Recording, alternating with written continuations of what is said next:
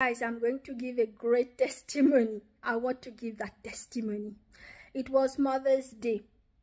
There was a guy who stayed like, you know, I stayed like on the road like that. And in front of me, there is like a, a road that go municipality road that goes to his house.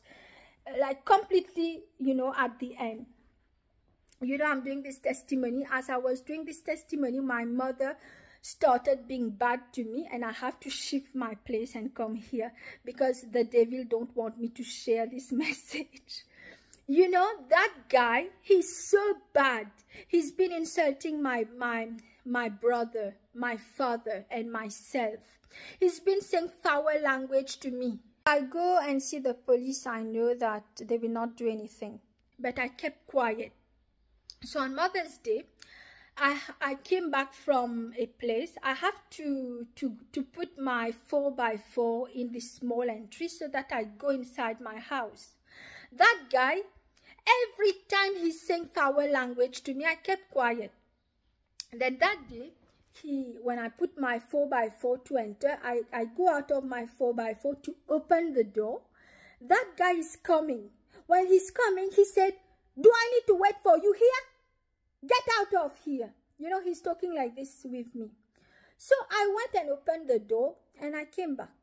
When I was coming back to enter my 4x4, he take his car, he said, I will crush you. And he came in front of me so that I don't enter my 4x4. He said, I will, I will crush your, your transport. He will crush my car.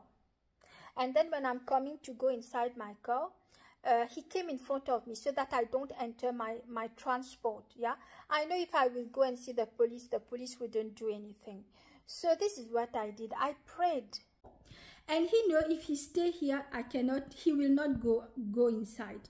So he came back and he and his wife was saying so many bad things to me. So I enter my 4 by 4 and then I started praying because he used to say he says so many foul language to me. I prayed for him for his wife for his for his children for his mother. See god is great. God is your protector. Don't forget to pray to your god. Our father israel jesus father of israel jesus and holy spirit of god jehovah they are our fighter yeah god fight for us so now I was so angry. I called the police and because he went to his mother-in-law place, so he was not, the police could not come. So I went and I prayed. See, you know what happened to him? The next day, there was one of his neighbor that he's very good with that neighbor, right? So that neighbor, he did a construction that day you know like at night he went to his mother-in-law. And the next day when he came he could not go inside his house for one whole day. So god did this neighbor uh, like like put something in the mind of this neighbor. This neighbor put cement in front of this entry so he could not go inside his house the whole time. Now i was very happy. I was very happy. So then when he's going back you know he's going back he cannot go inside. Because he cannot talk with men he can talk only with women. And he's been insulting me again and again and again. You know this is a neighbor. Now he couldn't go inside his house the whole day right? Because god made that neighbor put cement in front of that road so that he couldn't go out. So the whole day he couldn't go inside his house. God is good. God is good. Now when he was going back, I saw he met with an accident at the back of his car. You know, he met with an accident. Then many people will say, Oh, you have to forgive. Yeah, I can forgive. But if somebody's coming inside my house to kill me and my family, are you going to forgive or you will fight? God say, Go and look at your Bible. I will make your enemy your footstool. He will, they will be at your feet. So don't be scared, Christian. Your Father Israel, Jesus and Holy Spirit is fighting for you. That man, he's still in my prayer. I'm still praying for him. Yeah, I'm praying. you know, you don't know who you're fighting with. You don't know that person. Don't don't come and just fight with anybody, especially if you have children.